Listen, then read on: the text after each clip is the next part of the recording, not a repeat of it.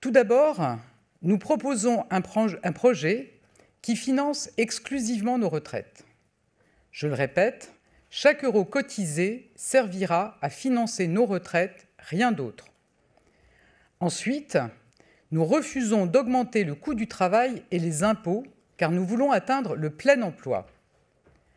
Enfin, et c'est un élément majeur dans un moment d'incertitude, nous présentons un projet qui garantit l'équilibre de notre système en 2030. Euh, la question porte également sur à 85% du SMIC. Euh... À compter du 1er septembre, l'âge légal de départ à la retraite sera relevé progressivement de trois mois par an pour atteindre 64 ans en 2030.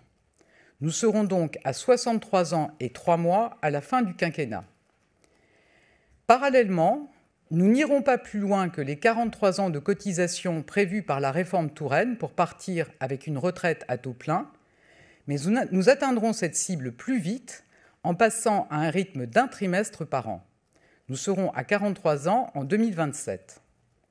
Enfin, nous maintiendrons à 67 ans l'âge auquel les personnes peuvent partir à la retraite sans décote, quelle que soit leur durée de cotisation.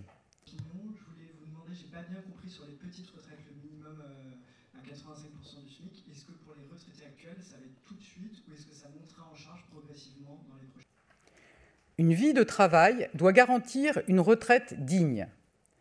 Conformément à notre engagement, les salariés et les indépendants, notamment les artisans et les commerçants, qui ont cotisé toute leur vie avec des revenus autour du SMIC partiront désormais avec une pension de 85% du SMIC net, soit une augmentation de 100 euros par mois. C'est près de 1200 euros par mois dès cette année.